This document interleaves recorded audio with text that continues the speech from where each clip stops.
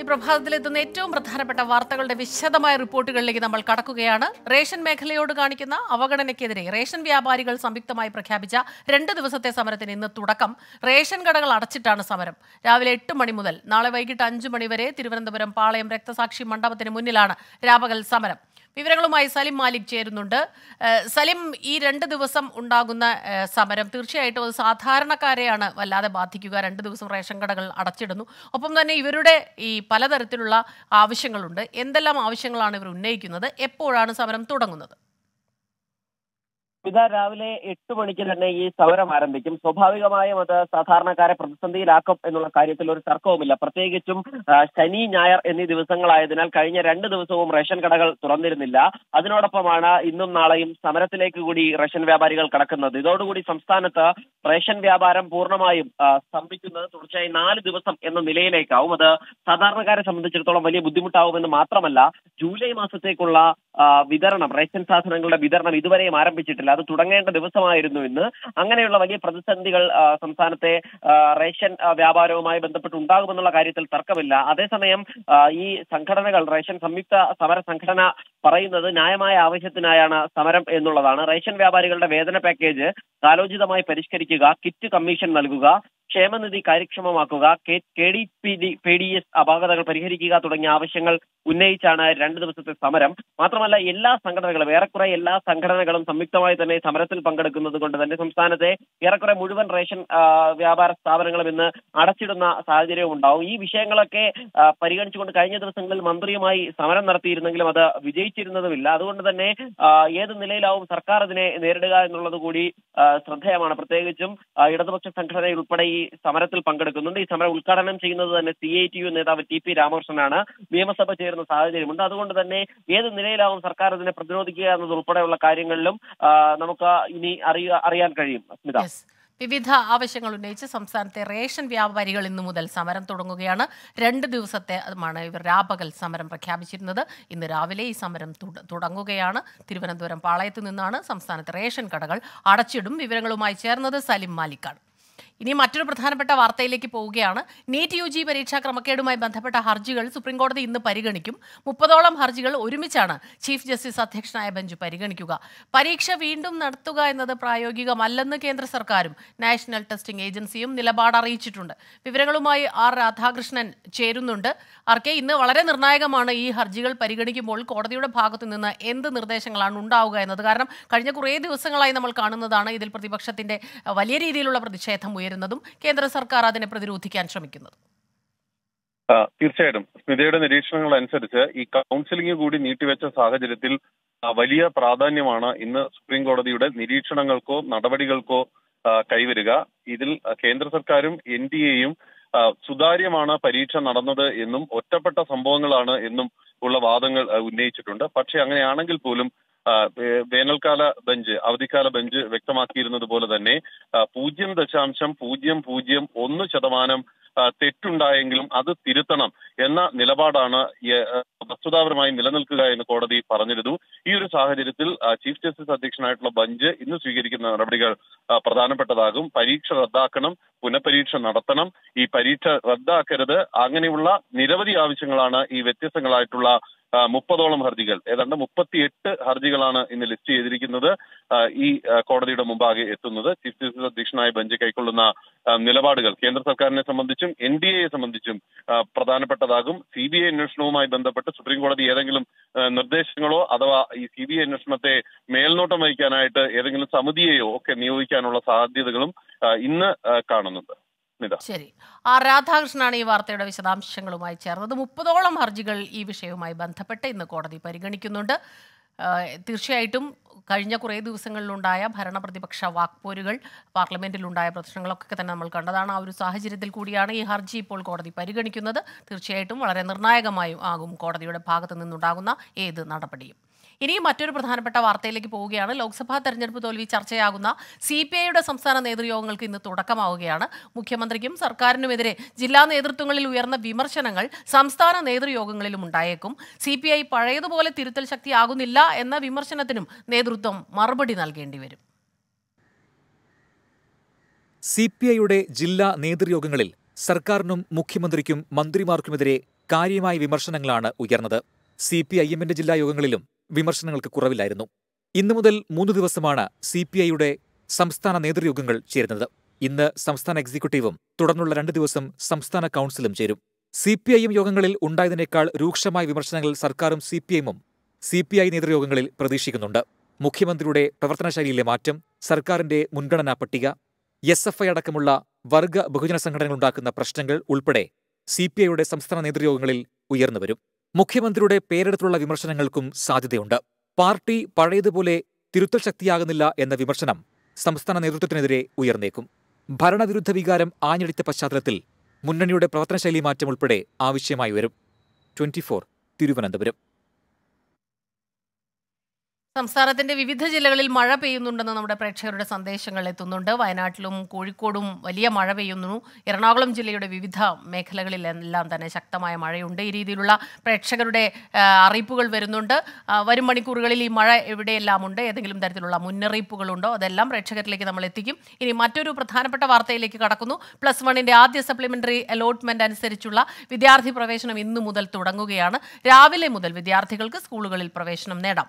നാളെ വൈകിട്ട് വരെയാണ് പ്രവേശനം നേടാൻ സമയം അനുവദിച്ചിട്ടുള്ളത്. മുപ്പതിനായിരത്തി ഇരുന്നൂറ്റി നാൽപ്പത്തി അഞ്ച് വിദ്യാർത്ഥികൾക്കാണ് ആദ്യ സപ്ലിമെന്ററി അലോട്ട്മെന്റിൽ പ്രവേശനം ലഭിച്ചത്. മലപ്പുറത്ത് ആറായിരത്തി തൊള്ളായിരത്തി തൊണ്ണൂറ്റി ഒൻപത് വിദ്യാർത്ഥികൾക്ക് ഇതുവരെ പ്രവേശനം ലഭിച്ചു. ഒൻപതിനായിരത്തി എണ്ണൂറ്റി എൺപത് വിദ്യാർത്ഥികൾ ഇപ്പോഴും സീറ്റ് ലഭിക്കാതെ പുറത്താണ്.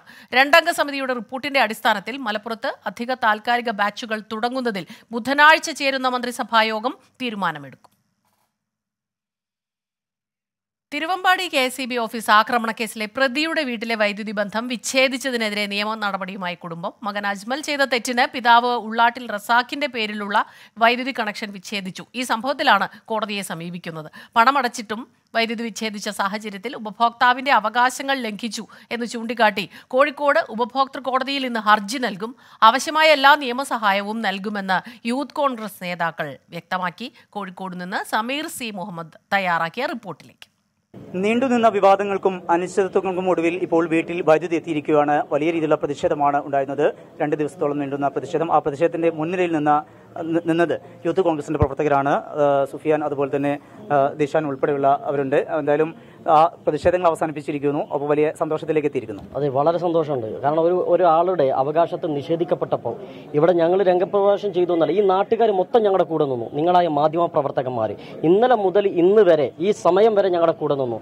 ഈ സുന്ദരമായ നിമിഷം നിങ്ങളൊരു കാര്യം മനസ്സിലാക്കാം ഞാൻ നേരത്തെ പറഞ്ഞ രൂപത്തിൽ കേരളത്തിന്റെ നിയമസഭ തല്ലി തകർത്തവന്റെ വീട്ടിലാരും വൈദ്യുതി കണക്ഷൻ വിച്ഛേദിച്ചിട്ടില്ല.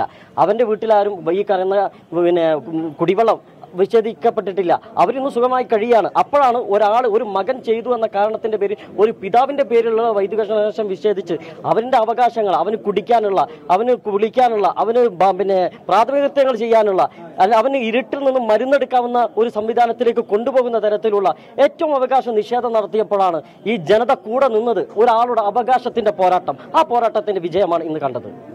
ദിഷാൻ ഒരു അഭിഭാഷകൻ കൂടിയാണ്. ഈ വിഷയത്തിൽ നിയമപോരാട്ടം തുടരും എന്നാണ് യൂത്ത് കോൺഗ്രസ് പ്രഖ്യാപിക്കുന്നത്. തീർച്ചയായും നിയമപോരാട്ടം തുടരും. നമ്മൾ വൈദ്യുതി വിച്ഛേദിച്ചത് അവരെന്ത് ചെയ്തു? റീകണക്ട് ചെയ്തു. ഉറപ്പും ഉറപ്പൊക്കെ വേണമെന്നാണ് പറഞ്ഞത്. ഇപ്പോൾ ഉറപ്പും വേണ്ട ഒന്നും വേണ്ട. അവസാനം മുട്ടും മടക്കി അതേ കെ എസ് സി ബിക്കാർ വന്ന് മഴയത്ത് എന്ത് ചെയ്തു? ഇത് കൊളുത്തി പോകുന്ന കാഴ്ച മാധ്യമങ്ങൾ പുറത്തുവിടും. നിങ്ങളൊക്കെ നൽകിയ പിന്തുണ വലുതാണ്. പിന്നെ ഒരു മനുഷ്യന്റെ അടിസ്ഥാന ആവശ്യത്തെ ഒരു കൺസ്യൂമറിന്റെ റൈറ്റിനെ ഇല്ലാതാക്കിയ ഇവരുടെ ഈ ധിക്കാര നടപടി. അത് ഇതത്തോടുകൂടി നമ്മൾ അവസാനിക്കുന്നില്ല. ആ നടപടിക്കെതിരെ നിയമപരമായ വകുപ്പുകളുണ്ട് വശങ്ങളുണ്ട്. പോരാട്ടം ഞങ്ങൾ തുടരും. അങ്ങനെ ഈ പണി ചെയ്ത ഒരുത്തരും സ്വസ്ഥമായിട്ട് ഇരിക്കാൻ ഞങ്ങൾ എന്ത് ചെയ്യുന്നില്ല? അനുവദിക്കില്ല. മുന്നോട്ട് തന്നെ. മക്കൾ ചെയ്ത തെറ്റിന് രക്ഷിതാക്കളെ ഉൾപ്പെടെ ശിക്ഷിച്ചു എന്നുള്ള കാര്യമാണ്. അതുപോലെ തന്നെ റസാഖിന്റെ പേരിലാണ് പിതാവായിട്ടുള്ള റസാഖിന്റെ പേരിലാണ് വൈദ്യുതി കണക്ഷൻ ഉള്ളത് എന്നാൽ മക്കളായിട്ടുള്ള അജ്മലും ഷഹദാദും ചെയ്ത തെറ്റിനാണ് ഈ വൈദ്യുതി ബന്ധം വിച്ഛേദിക്കുകയും വലിയ രീതിയിൽ ഈ കുടുംബത്തെ പ്രതിസന്ധിയിലാക്കുകയും ചെയ്തത്. ആ വിഷയം ചൂണ്ടിക്കാട്ടിക്കൊണ്ടാണ് യൂത്ത് കോൺഗ്രസ് നിയമ നടപടിയുമായിട്ട് മുന്നോട്ട് പോകുന്നത്. കോഴിക്കോട് നിന്ന് മുനീഫ് തിരൂരിനൊപ്പം സമീർ സി മുഹമ്മദ് ട്വന്റി മറ്റൊരു പ്രധാനപ്പെട്ട വാർത്ത. പ്രതിപക്ഷ നേതാവ് രാഹുൽ ഗാന്ധി ഇന്ന് അസമും മണിപ്പൂരും സന്ദർശിക്കും. രാവിലെ പത്ത് മണിയോടെ അസം തലയിലെ ദുരിതാശ്വാസ ക്യാമ്പുകൾ സന്ദർശിക്കും.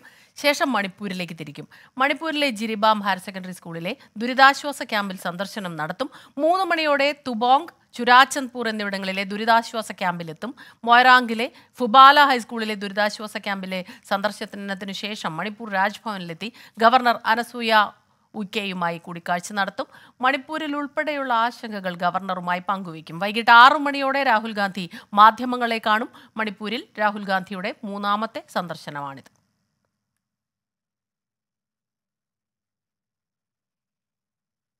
ക്വാഡ് സഖ്യരാജ്യങ്ങളുമായി ചേർന്നുള്ള മലബാർ നാവികാഭ്യാസത്തിൽ നിന്ന് പിന്മാറണം എന്ന ചൈനയുടെ ആവശ്യം ഇന്ത്യ തള്ളി. ബംഗാൾ ഉൾക്കടലിലാണ് സംയുക്ത നാവികാഭ്യാസം നടത്തുക. ആർ രാധാകൃഷ്ണൻ ചേരുന്നുണ്ട് ഡൽഹിയിൽ നിന്ന് വിവരങ്ങളുമായി. ആർക്കെ ഈ അംഗരാജ്യങ്ങളുടെ തമ്മിലുള്ള സഹകരണം ശക്തിപ്പെടുത്തുന്നതിന്റെ അവരുടെ ഒരു കായിക ശക്തി ആ ബലം അത് കാണിക്കുക ലോകത്തിന് മുന്നിലേക്ക് കാണിക്കുക ഈ രണ്ട് ഉദ്ദേശങ്ങളാണ് പ്രധാനമായും ഉള്ളത് ഏതായാലും ചൈന എതിർക്കുന്നു ചൈനയുടെ എതിർപ്പിനെ ഇന്ത്യ വീണ്ടും തള്ളുന്നു. ഈ ചൈനയുടെ മേധാവിത്വത്തിന് വലിയ വെല്ലുവിളിയാണ് ഇന്ത്യയുടെ മലബാർ നാവിക അഭ്യാസം. മലബാർ നാവിക അഭ്യാസത്തിൽ ഇത്തവണ പ്രധാനപ്പെട്ടതാകുന്നത് ക്വാഡ് സഖ്യ രാജ്യങ്ങളുടെ കൂടി പങ്കാളിത്തമാണ്. അമേരിക്ക ജപ്പാൻ ഓസ്ട്രേലിയ അടക്കമുള്ള രാജ്യങ്ങളാണ് ഇതിന്റെ ഭാഗമായിട്ട് ഇന്ത്യയുടെ നാവിക അഭ്യാസത്തിന്റെ ഭാഗമായിട്ട് പങ്കെടുക്കാൻ പോകുന്നത്. സബ്മറൈനുകളുടെ പ്രദർശനം അടക്കം ഉള്ളവയാണ് നടക്കാൻ പോകുന്നത്. ചൈനയെ സംബന്ധിച്ച് ഇത് ഉയർത്തുന്ന അവർ വെല്ലുവിളി അത് വലിയ രീതിയിൽ വലുതാണ്. ഈ ഒരു സാഹചര്യത്തിലാണ് ചൈന ഈ മലബാർ നാവികാഭ്യാസം പ്രകോപനപരമാണ് എന്ന നിലപാട് സ്വീകരിച്ച് രംഗത്ത് എത്തിയത്. ഷാങ്ഹായ് ഉച്ചകോടിയിൽ അടക്കം ചൈനയുടെ വിദേശകാര്യമന്ത്രി ഈ നിലപാട് വ്യക്തമാക്കാൻ ശ്രമിച്ചിരുന്നു. പക്ഷേ ഇന്ത്യ ഔദ്യോഗികമായിട്ട് ഇപ്പോൾ ചൈനയുടെ ഈ പ്രതിഷേധത്തെ തള്ളിയിരിക്കുകയാണ്. നിലവിലുള്ള സാഹചര്യത്തിൽ ഏതെങ്കിലും ഒരു രാജ്യത്തെ ലക്ഷ്യമിട്ടുകൊണ്ടല്ല മറിച്ച് ഇന്ത്യൻ നാവികസേനയുടെ കരുത്ത് അത് തെളിയിക്കുന്നതിന് വേണ്ടിയിട്ടാണ് അംഗരാജ്യങ്ങളുമായിട്ടുള്ള ബന്ധം കൂടുതൽ ശക്തമാക്കുന്നതിന് വേണ്ടിയിട്ടാണ് ഈ പ്രദർശനം. അത് ആരെയും ഏതെങ്കിലും വിധത്തിൽ പ്രകോപിപ്പിക്കേണ്ടതല്ല എന്ന് വ്യക്തമാക്കുകയും ചെയ്തിരിക്കുന്നു. ഈ സാഹചര്യത്തിൽ ഈ നിലപാടുമായിട്ട് മുന്നോട്ട് പോകാനും മലബാർ നാവിക അഭ്യാസം ക്വാഡ് അംഗരാജ്യങ്ങളുമായി ചേർന്ന് നടപ്പാക്കാനുമാണ് ഇന്ത്യ തീരുമാനിച്ചിരിക്കുന്നത്. ഇന്ത്യയും ജപ്പാനും ഓസ്ട്രേലിയയുമായി ചേർന്നുള്ള ക്വാഡംഗ രാജ്യങ്ങളുടെ നാവികാഭ്യാസം തുടരും എന്നുറക്കെ പ്രഖ്യാപിക്കുകയാണ് ഇന്ത്യ. വീണ്ടും രാധാകൃഷ്ണനാണ് ഡൽഹിയിൽ നിന്ന് വിവരങ്ങളുമായി നമുക്കൊപ്പം ചേർന്നത്. മാസപ്പടി കേസിൽ മാത്യു കുഴിൽനാടൻ നൽകിയ റിവിഷൻ ഹർജി ഹൈക്കോടതി ഇന്ന് വീണ്ടും പരിഗണിക്കും. മുഖ്യമന്ത്രിയുടെ മകൾ എന്ന നിലയിലാണ് ടി വീണയുമായി സി എം ആറിൽ കരാർ ഒപ്പിട്ടതെന്നും സേവനം നൽകാതെയാണ് പണം വാങ്ങിയതെന്നും ഇന്റർം സെറ്റിൽമെന്റ് ബോർഡ് കണ്ടെത്തിയിട്ടുണ്ടെന്ന് ഇത്തരം കാര്യങ്ങളാണ് മാത്യു കുഴൽനാടന്റെ വാദം. ജസ്റ്റിസ് കെ ബാബുവാണ് കേസ് പരിഗണിക്കുക. മുഖ്യമന്ത്രി ഉൾപ്പെടെയുള്ളവർക്കെതിരെ അന്വേഷണം വേണ്ടെന്ന തിരുവനന്തപുരം വിജിലൻസ് കോടതി ഉത്തരവിന് പിന്നാലെ താൻ തെളിവുകൾ ഹൈക്കോടതിയിൽ ഹാജരാക്കുമെന്ന് മാത്യു കുഴൽനാടൻ വ്യക്തമാക്കിയിരുന്നു. ചേർത്തലയിൽ ദളിത് യുവതിയെ പട്ടാപ്പകൽ നടുറോഡിലിട്ട് മർദ്ദിച്ച കേസിൽ പരാതി കൊടുത്തിട്ടും കേസെടുക്കാതെ പൂച്ചാക്കൽ പോലീസ്. തൈക്കാട്ടുശ്ശേരി സ്വദേശി നിലാവിനാണ് മർദ്ദനമേറ്റത്. സഹോദരങ്ങളെ മർദ്ദിച്ചത് ചോദ്യം ചെയ്തതിനാണ് നിലാവിനെയും സഹോദരങ്ങളെയും ആലപ്പുഴ തൈക്കാട്ടുശ്ശേരി റോഡിൽ വെച്ച് ക്രൂരമായി മർദ്ദിച്ചത്. നിലാവും സഹോദരങ്ങളും തുറവൂർ ആശുപത്രിയിൽ ചികിത്സയിലാണ്. സംഭവത്തിൽ ജില്ലാ പോലീസ് മേധാവി ഡിവൈഎസ്പിയോട് വിശദീകരണം തേടി. ക്രിക്കറ്റ് കോച്ച് പരിശീലനത്തിനെത്തിയ വിദ്യാർത്ഥികളെ പീഡിപ്പിച്ച സംഭവത്തിൽ കെ സി എ പ്രതിരോധത്തിൽ വിഷയത്തിൽ മനുഷ്യാവകാശ കമ്മീഷൻ കെ സി എയോട് വിശദീകരണം ആവശ്യപ്പെട്ടു. പീഡനക്കേസിൽ കോച്ച് പ്രതിയായ സാഹചര്യം വിശദീകരിക്കണം എന്നാണ് മനുഷ്യാവകാശ കമ്മീഷന്റെ നോട്ടീസ്. മനുഷ്യാവകാശ കമ്മീഷന് മുന്നിൽ കെ സി എയുടെ വിശദീകരണം എന്താകും എന്നതിൽ വ്യക്തതയില്ല. വിഷയത്തിൽ കേരള ക്രിക്കറ്റ് അസോസിയേഷനും ഉത്തരവാദികളാണ് എന്നാണ് കമ്മീഷന്റെ നിരീക്ഷണം. ഇന്നോ നാളെയോ ഔദ്യോഗികമായി വിശദീകരണം നൽകുമെന്നാണ് സൂചന. കുട്ടികളുടെ നഗ്നചിത്രങ്ങൾ പകർത്തുകയും പീഡിപ്പിക്കുകയും ചെയ്ത മനു എന്ന പരിശീലകൻ പോക്സോ കേസിൽ റിമാൻഡിലാണ്. മറ്റൊരു പ്രധാനപ്പെട്ട റിപ്പോർട്ടിലേക്ക് സംസ്ഥാനത്ത് പക്ഷിപ്പനി പടരുന്നതുമായി ബന്ധപ്പെട്ട വിഷയം ഇന്ന് നിയമസഭയിൽ. പോലീസിന്റെ പ്രവർത്തനം തടവുകാരുടെ ശിക്ഷായിളവ് എന്നിവ അടക്കമുള്ള വിഷയങ്ങൾ ചോദ്യോത്തരവേളയിൽ പ്രതിപക്ഷം ഉന്നയിക്കും. ജലജീവൻ മിഷനുമായി ബന്ധപ്പെട്ട കാര്യമാണ് അടിയന്തര പ്രമേയമായി ഉന്നയിക്കാൻ പ്രതിപക്ഷം ആലോചിക്കുന്നത്. പട്ടികജാതി പട്ടികവർഗ ക്ഷേമവുമായി ബന്ധപ്പെട്ട ഉപധനാഭ്യർത്ഥന ചർച്ചകൾ നിയമസഭയിൽ ഇന്നുണ്ടാകും. വളരെ പ്രധാനപ്പെട്ട ഒരു വാർത്തയിലേക്ക്. ഇസ്രായേൽ ഹമാസ് യുദ്ധം അവസാനിപ്പിക്കാൻ ശ്രമം തുടർന്ന് U S. C I A തലവൻ വില്യം ബേൺസ് ഖത്തർ പ്രധാനമന്ത്രിയുമായി കൂടിക്കാഴ്ച നടത്തും. മധു കൊട്ടാരകര ചേരുന്നുണ്ട്. ന്യൂജേഴ്സിയിൽ നിന്ന് വിവരങ്ങളുമായി Madhu. Good morning and good evening ഇതിപ്പോൾ ഈ എത്ര ദിവസങ്ങളായി തുടങ്ങിയിട്ട് ഈ കഴിഞ്ഞ കുറച്ച് ദിവസങ്ങളായിട്ട് ഈ വല്ലാത്തൊരു പ്രതിസന്ധിയിലേക്ക് അവിടെ നിന്ന് പലായനം ചെയ്ത് മറ്റിടങ്ങളിൽ താമസിക്കുന്നവർ പോലും ആ പ്രതിസന്ധിയിലേക്ക് കടക്കുന്നു. സ്ഥിതിഗതികൾ വളരെ രൂക്ഷമായി തുടരുമ്പോൾ വീണ്ടും അമേരിക്ക ഇങ്ങനെ മുൻകൈ എടുക്കുകയാണോ ഖത്തറുമായി ചേർന്ന് ഇതിനുള്ള ചർച്ചകൾ വെടിനിർത്തൽ ചർച്ചകളിലേക്ക്. Smitha good morning. U S president Joe Biden May മാസത്തിലാണ് ഒരു ഒരു ത്രീ സ്റ്റേജ് സമാധാന പാക്കേജ് മുന്നോട്ട് വെച്ചത്. അന്ന് ആ ചർച്ച അല്പം മുന്നോട്ട് പോയെങ്കിലും പിന്നീട് വലിയൊരു ഫലമൊന്നും കണ്ടില്ല. പക്ഷേ ഇപ്പോൾ ഈ ചർച്ചകൾ വീണ്ടും പുനരാരംഭിക്കുകയാണ്. ഇതിലെ ഒരു പ്രധാന കാരണം ഹമാസ് അവരുടെ പ്രധാന ആവശ്യങ്ങളിൽ ചിലതിലൊക്കെ കോംപ്രമൈസ് വരുത്തിയിരിക്കുകയാണ്. പ്രത്യേകിച്ച് ഈ കരാറിൽ ഒപ്പുവെക്കും മുമ്പ് വെടിനിർത്തൽ വേണമെന്നായിരുന്നു ഹമാസിന്റെ ഒരു പ്രധാന ഡിമാൻഡ് അവരത് ഉപേക്ഷിച്ചു. അവരുടെ ഒരു കണക്കുകൂട്ടൽ ഒരു ആറാഴ്ച നീണ്ടു നിൽക്കുന്ന ആദ്യഘട്ടത്തിൽ ജലബേസിലൂടെ അത് നേടിയെടുക്കാമെന്നുള്ള ഒരു രീതിയിലാണ് ഇസ്രായേലിന്റെ പ്രതികരണത്തിനായി കാത്തിരിക്കുകയാണെന്ന് ഹമാസ് പറയുകയും ചെയ്തിട്ടുണ്ട്. America C I A chief William ബേൺസിനെയാണ് ഇതെല്ലാം ഏകോപിപ്പിക്കാൻ വേണ്ടി ഈ പശ്ചിമേഷ്യയിലേക്ക് അയച്ചിരിക്കുന്നത്. ഖത്തറും ഈജിപ്തുമാണ് ഈ മധ്യസ്ഥ ഏകോപിപ്പിക്കാൻ വേണ്ടി ഈ ചർച്ചകൾക്ക് വീണ്ടും തുടക്കം വെച്ചിരിക്കുന്നത്. ഹമാസിന്റെ തടങ്കലിലുള്ള നൂറ്റി ഇരുപത് ബന്ദികളെയും എങ്ങനെയും ഈ യുദ്ധം അവസാനിപ്പിക്കാനുള്ള ശ്രമമാണ് അമേരിക്കയും ഖത്തറും ഈജിപ്തും ഇപ്പോൾ നടത്തിക്കൊണ്ടിരിക്കുന്നത്. സ്മിത. ശരി. മധു കൊട്ടാരക്കരയാണ് ഈ വാർത്തയുടെ വിശദാംശങ്ങൾ നൽകിയത്. ന്യൂജേഴ്സിയിൽ നിന്ന്. മറ്റൊരു പ്രധാനപ്പെട്ട റിപ്പോർട്ടിലേക്ക് ഇടപ്പള്ളി റെയിൽവേ സ്റ്റേഷനിൽ നിർത്തിയിട്ടിരുന്ന ട്രെയിന് മുകളിൽ കയറി ഷോക്കേറ്റ് വിദ്യാർത്ഥി മരിച്ച സംഭവത്തിൽ അന്വേഷണം തുടങ്ങി എളമക്കര പോലീസ്. റെയിൽവേ ട്രാക്കിലെ വൈദ്യുതി ലൈനിൽ നിന്ന് ഷോക്കേറ്റ് പോണേക്കര സ്വദേശി ആന്റണി ജോസ് ആണ് ഇന്നലെ വൈകിട്ട് മരിച്ചത്. പൊതുജനങ്ങൾക്ക് പ്രവേശനമില്ലാതിരുന്ന സ്ഥലത്തേക്ക് വിദ്യാർത്ഥികൾ കടന്നത് എങ്ങനെ എന്നതിലാണ് പ്രാഥമിക അന്വേഷണം. ആന്റണിക്കൊപ്പം ഉണ്ടായിരുന്ന മറ്റ് വിദ്യാർത്ഥികൾക്ക് വേണ്ടിയുള്ള തെരച്ചിലും ആരംഭിച്ചു. അപകടത്തിന് ശേഷം ഒപ്പമുണ്ടായിരുന്നവരെ കാണാതായിരുന്നു. ഇവരുടെ മൊബൈൽ ഫോണുകളും സ്വിച്ച് ഓഫ് ആണ്. എറണാകുളത്തെ സ്വകാര്യ ആശുപത്രി മോർച്ചറിയിൽ സൂക്ഷിച്ചിട്ടുള്ള ആന്റണിയുടെ മൃതദേഹം ഇന്ന് ബന്ധുക്കൾക്ക് കൈമാറും. പന്തയം ജയിക്കാൻ വേണ്ടിയാണ് ആന്റണി ജോസ് ഗുഡ്സ് ട്രെയിനിന് മുകളിലേക്ക് കയറിയതെന്നാണ് പോലീസ് പറയുന്നത്.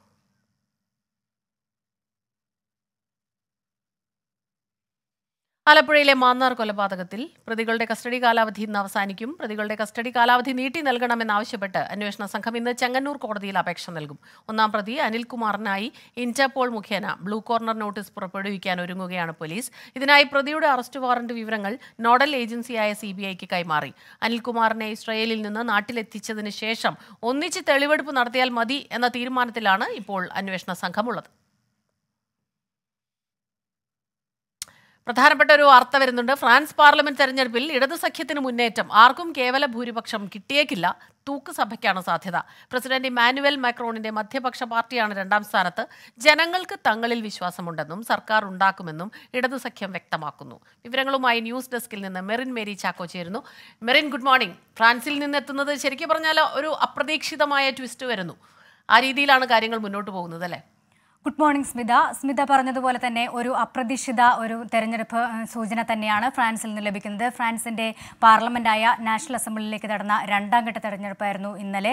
ആ ഒരു തെരഞ്ഞെടുപ്പിൽ ഇപ്പോൾ ഇടതുപക്ഷത്തിനാണ് ഇടത് സഖ്യത്തിനാണ് നാഷണൽ പോപ്പുലർ ഫ്രണ്ടാണ് ഈ സഖ്യം അറിയപ്പെടുന്നത്. ഇവർക്കാണ് ഇപ്പോൾ മുന്നേറ്റം എന്നാണ് ഇപ്പോൾ അറിയാൻ സാധിക്കുന്നത്. എന്നാൽ ആർക്കും കേവല ഭൂരിപക്ഷം കിട്ടിയേക്കില്ല. തൂക്കുസഭയ്ക്കാണ് ഫ്രാൻസിൽ സാധ്യതയെന്നും പറയുന്നു. പ്രസിഡന്റ് ഇമ്മാനുവൽ മക്രോണിന്റെ മധ്യപക്ഷ പാർട്ടി ഇപ്പോൾ രണ്ടാം സ്ഥാനത്താണ്. ഒന്നാം സ്ഥാനത്തെത്തുമെന്ന് പ്രതീക്ഷിച്ച തീവ്ര വലതുപക്ഷ പാർട്ടിയായ national rally Marine Le Pen നേതൃത്വം നൽകുന്ന നാഷണൽ റാലി ഇപ്പോൾ മൂന്നാം സ്ഥാനത്തേക്ക് പോയിരിക്കുന്നു. എന്നാൽ ഭരിക്കുന്നതിനുള്ള ഭൂരിപക്ഷം ആർക്കും ലഭിക്കുന്നില്ല. അതുകൊണ്ട് തന്നെ ഫ്രാൻസിൽ ഒരു തൂക്ക് സഭയ്ക്കാണ് സാധ്യതയെന്ന് തന്നെയാണ് പ്രവചിക്കപ്പെടുന്നത്. എന്തായാലും നേരത്തെ തന്നെ തങ്ങൾ ഇടത് സഖ്യം ഇടത് സഖ്യം സർക്കാർ ഉണ്ടാക്കുമെന്ന് ഇപ്പോൾ വ്യക്തമാക്കി കഴിഞ്ഞു. എന്നാൽ ഒരു അവിശുദ്ധ കൂട്ടുകെട്ടാണ്. അതായത് മധ്യപക്ഷവും വലതുപക്ഷവും ചേർന്ന് നടത്തിയ ഒരു ഇടതുപക്ഷവും ചേർന്ന് ഒരു അവിശുദ്ധ കൂട്ടുകെട്ടാണ് തങ്ങളുടെ വിജയം തടഞ്ഞതെന്ന് തന്നെയാണ് ഇപ്പോൾ ജോർദാൻ ബാർദേല നാഷണൽ റാലിയുടെ നേതാവാണ് അദ്ദേഹം. ഇരുപത്തെട്ട് വയസ്സുള്ളൂ ഇദ്ദേഹമാണ് ഫ്രാൻസിന്റെ പ്രധാനമന്ത്രിയാകുമെന്ന് കരുതപ്പെട്ടിരുന്ന അദ്ദേഹം പ്രധാനമന്ത്രിയാകാൻ തയ്യാറാണെന്നും ഫ്രാൻസിന്റെ താല്പര്യങ്ങളെല്ലാം സംരക്ഷിക്കുമെന്നും നേരത്തെ തന്നെ വ്യക്തമാക്കിയിരുന്നു. ഈ ജോർദാൻ ബാർദേല പറ- പറഞ്ഞത് അവിശുദ്ധ കൂട്ടുകെട്ട് തങ്ങളുടെ വിജയം തടഞ്ഞു എന്ന് തന്നെയാണ് ഇപ്പോൾ അദ്ദേഹം പറയുന്നത്. എന്തായാലും ഒരു അപ്രതീക്ഷിത ഒരു തെരഞ്ഞെടുപ്പ് സൂചനകൾ ഫലസൂചനകളാണ് ഇപ്പോൾ ഫ്രാൻസിൽ നിന്ന് ലഭിക്കുന്നത്. ഇടതു മുന്നേറ്റത്ത് ഉണ്ടാകുമെന്ന പ്രവചനത്തിന് പിന്നാലെ തന്നെ പാരീസിൽ അങ്ങിങ്ങ് അക്രമ സംഭവങ്ങളുണ്ടായി. ഈ ഇടത് അനുകൂലികൾ പോലീസുമായിട്ട് ഏറ്റുമുട്ടി. തടി കൊണ്ട് നിർമ്മിച്ച ബാരിക്കേഡുകളെല്ലാം അഗ്നിക്കിരയാക്കുകയും പോലീസ് അവർക്ക് നേരെ ജലവിരങ്ങികൾ പ്രയോഗിച്ചു. ഈ അക്രമ സംഭവങ്ങളുമായി ബന്ധപ്പെട്ട് ഇരുപത്തഞ്ച് പേരെ ഇപ്പോൾ ഫ്രഞ്ച് പോലീസ് അറസ്റ്റ് ചെയ്ത് കഴിഞ്ഞു മുമ്പെങ്ങും ഇല്ലാത്ത വിധം സമീപകാലങ്ങളൊന്നും ഇല്ലാത്ത വിധം കനത്ത അക്രമ സംഭവങ്ങൾ പരക്കെ അക്രമ സംഭവങ്ങളാണ് ഫ്രാൻസിൽ ഉണ്ടായിരിക്കുന്നത് കനത്ത സുരക്ഷയിലാണ് അവിടെ രണ്ടാം ഘട്ട തെരഞ്ഞെടുപ്പ് നടന്നത്. മുപ്പതിനായിരം പോലീസുകാരെയാണ് സുരക്ഷാ സേനയാണ് തിരഞ്ഞെടുപ്പുമായി ബന്ധപ്പെട്ട് അവിടെ നിയോഗിച്ചത്. കഴിഞ്ഞ മാസമാണ് ഇത്തരത്തിൽ French parliament president Emmanuel Macron പിരിച്ചുവിട്ടത്. അതായത് പ്രധാന പാർട്ടിയായ നാഷണൽ റാലിയുടെ മരിയൻ ലീപ്പന്റെ പാർട്ടി മുന്നേറ്റം ഉണ്ടാക്കിയതിന് പിന്നാലെയാണ് ഫ്രഞ്ച് പാർലമെന്റ് പിരിച്ചുവിട്ടത്. ഇതിന് പിന്നാലെ നേരത്തെ നമ്മൾ ബ്രിട്ടീഷ് തെരഞ്ഞെടുപ്പ് പരിശോധിക്കുകയാണെങ്കിൽ ഋഷി സുനക് ഇതേപോലെ തന്നെ ഒരു ആത്മവിശ്വാസം പ്രകടിപ്പിച്ചുകൊണ്ട് തന്നെ പാർലമെന്റ് പിരിച്ചുവിട്ടിരുന്നു. എന്നാൽ അദ്ദേഹത്തിന് തിരിച്ചടിയായി. ഇപ്പോൾ ഇമ്മാനുവൽ മെക്രോണിനും ആ ഒരു സാഹചര്യം തന്നെയാണ് നേരിടേണ്ടി വരുമെന്ന് തന്നെയാണ് സൂചന. എന്നാൽ തെരഞ്ഞെടുപ്പ് ഫലം എന്തായാലും മക്രോണിന് തന്റെ അധികാരത്തിൽ തുടരാനാകും. കാരണം രണ്ടായിരത്തി ഇരുപത്തിയേഴ് വരെ അദ്ദേഹത്തിന് കാലാവധിയുണ്ട് പ്രസിഡന്റായി തന്നെ തുടരാനാകും. എന്നാൽ ഇത്തരം ജനവിരുദ്ധ വികാരം ഉള്ളപ്പോൾ അദ്ദേഹം ആ ഒരു സ്ഥാനത്ത് തുടരുമോ എന്നും നമ്മൾക്ക് പറയാനാകില്ല. എന്തായാലും അദ്ദേഹം തന്നെ വ്യക്തമാക്കിയിട്ടുണ്ട്. താൻ രാജിവെക്കില്ല. അധികാരത്തിൽ തുടരുമെന്ന് വ്യക്തമാക്കിയിട്ടുണ്ട്. എന്തായാലും ഫ്രാൻസിന്റെ തെരഞ്ഞെടുപ്പ് ഫല സൂചനകൾ വരുമ്പോൾ ഇടത് സഖ്യത്തിനാണ് ഇപ്പോൾ മുന്നേറ്റമുണ്ടായിരിക്കുന്നത്. നാഷണൽ പോപ്പുലർ ഫ്രണ്ടിന് തന്നെയാണ് മുന്നേറ്റമുണ്ടായിരിക്കുന്നത് ഫ്രാൻസ് ഒരു തൂക്ക് സഭയിലേക്ക് പോകുമെന്ന് തന്നെയാണ് ഇപ്പോൾ ഒടുവിലറിയുന്ന വിവരം സ്മിത. ശരി. മെറിൻ മേരി ചാക്കോയാണ് വിവരങ്ങളുമായി ന്യൂസ് ഡെസ്കിൽ നിന്ന് നമുക്കൊപ്പം ചേർന്നത്. ഇനി മറ്റൊരു പ്രധാനപ്പെട്ട റിപ്പോർട്ടിലേക്ക് പോകുന്നു. ഹാത്രസ് അപകടത്തിനു പിന്നിൽ ഗൂഢാലോചനയുണ്ടെന്ന് ഭോലെ ബാബയുടെ അഭിഭാഷകൻ എ പി സിംഗ്. സത്സംഗിൽ പതിനഞ്ചോളം പേർ മുഖംമൂടി ധരിച്ച് വിഷപദാർത്ഥം ഉപയോഗിച്ചു.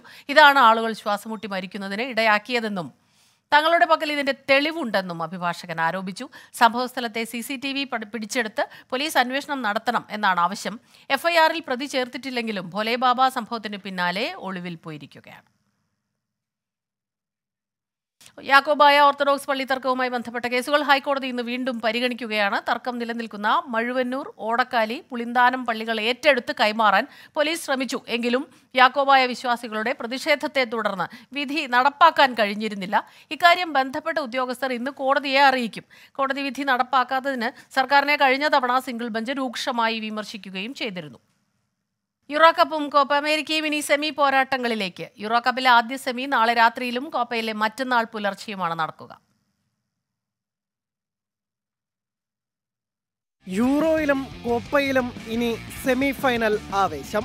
കാത്തിരിക്കുന്നത് പവർ പാക്ഡ് പോരാട്ടങ്ങൾ. യൂറോ കപ്പിന്റെ ആദ്യ സെമിയിൽ നാളെ രാത്രി പന്ത്രണ്ടരയ്ക്ക് മുൻ ചാമ്പ്യന്മാരായ സ്പെയിനും ഫ്രാൻസും മുഖാമുഖം. ഇത്തവണത്തെ യൂറോയിൽ സമ്പൂർണ ജയമുള്ള ഏക ടീമായ സ്പെയിന്റെ ലക്ഷ്യം നാലാം കിരീടം. ക്വാർട്ടറിൽ ആതിഥേയരായ ജർമ്മനിയെ തോൽപ്പിച്ചതും സ്പാനിഷ് അർമാഡകൾക്ക് ആത്മവിശ്വാസം നൽകുന്നു. രണ്ടായിരത്തിന് ശേഷം ആദ്യ കിരീടമാണ് ഫ്രാൻസിന്റെ ലക്ഷ്യം. ലോകകപ്പുകളിൽ മിന്നും പ്രകടനം നടത്തുമ്പോഴും യൂറോയിൽ കാലൊടുകയായിരുന്നു ഫ്രാൻസിന്. പോർച്ചുഗലിനെ പെനാൽറ്റി ഷൂട്ടൌട്ടിൽ മറികടന്നായിരുന്നു ഫ്രാൻസിന്റെ സെമി പ്രവേശം കന്നിക്കിരീടം ലക്ഷ്യമിടുന്ന ഇംഗ്ലണ്ടും രണ്ട് പതിറ്റാണ്ടിന് ശേഷം സെമിയിലെത്തുന്ന മുൻ ചാമ്പ്യന്മാരായ നെതർലാൻഡ്സും തമ്മിലുള്ള രണ്ടാം സെമി പോരാട്ടം മറ്റന്നാൾ രാത്രിയാണ്. കോപ്പ അമേരിക്കയിൽ നിലവിലെ ചാമ്പ്യന്മാരായ അർജന്റീനയും കന്നിക്കാരായ കാനഡയും തമ്മിലാണ് ആദ്യ സെമി പോരാട്ടം. മറ്റന്നാൾ പുലർച്ചെ അഞ്ചരയ്ക്കാണ് മെസ്സിപ്പടയുടെ മത്സരം. വ്യാഴാഴ്ച പുലർച്ചെ നടക്കുന്ന യുറുഗെ കൊളംബിയ പോരാട്ടത്തോടെ കോപ്പയിലെയും ഫൈനൽ ചിത്രം തെളിയും. സ്പോർട്സ് ഡെസ്ക് ട്വന്റി ഫോർ ഈ മറ്റൊരു പ്രധാനപ്പെട്ട വാർത്തയിലേക്ക് കടക്കുന്നു. ആദ്യ മദർഷിപ്പ് എത്തുമ്പോൾ വിഴിഞ്ഞം തുറമുഖത്തിന്റെ പ്രവർത്തനത്തിന് കരുത്തുകൂട്ടാൻ രണ്ട് സുപ്രധാന പദ്ധതികളാണുള്ളത്. വിഴിഞ്ഞത്തെ റെയിൽവേയുമായി ബന്ധിപ്പിക്കുന്ന തുരങ്കപാതയും വിഴിഞ്ഞം മുതൽ നാവായിക്കുളം വരെയുള്ള റിംഗ് റോഡും പദ്ധതികളുടെ നിർമ്മാണ പ്രവർത്തനങ്ങൾക്ക് തുടക്കമായി എങ്കിലും സ്ഥലമേറ്റെടുക്കൽ അടക്കമുള്ള നടപടികൾ വേഗത്തിൽ പൂർത്തിയാക്കാനാണ് സർക്കാർ ശ്രമിക്കുന്നത്.